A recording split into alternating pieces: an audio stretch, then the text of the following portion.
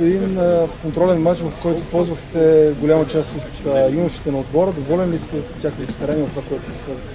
Да, наистина полезна проверка за нас, така да, да видим тяхното израстване. Все пак а, доста от тях тренират вече с нас 6-7 месеца и повече. Така радвам се, че виждам някакво израстване в тях. Колко близо са някои от тях до първи отбор и това да получат шанси в Лига?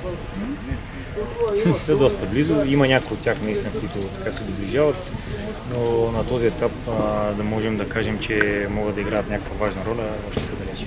А, има футболисти на проби в тима, един от тях се появи на терена в заключителните минути. Колко време ще останат колко проверки ще тестват? Ами, тук ще бъдат поне до, до края на седмицата. Той никой е играл преди два дни матч, така че не искахме да му даваме повече време, искахме да, да, да може да, да възстанови, но пък той изрази желание да играе малко, така че му отделихме 10 минути и надявам се, че така в другата проверка ще може да го видим повече.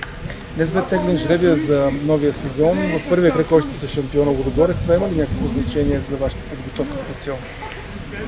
Ние преди този матч имаме матч от евротурнирите, така че ние се готвиме за този матч. Да, наистина. Труден матч срещу шампиона, но рано или късно ние трябваше да се справим срещу тях, така че няма значение в коя фаза.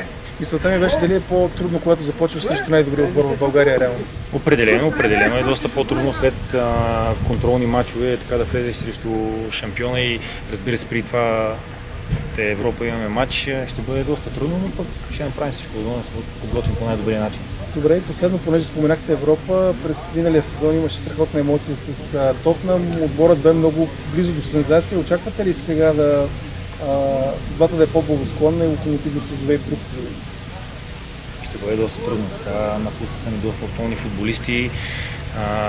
Ще вземем нужните футболисти, но ще ни бъде нужно време за тяхното обиграване. Надявам се така да, да имаме този късмет, както предишните години. Пак казвам, ние ще направим абсолютно всичко възможно да, да се представим по най-добрия начин. Благодаря успех.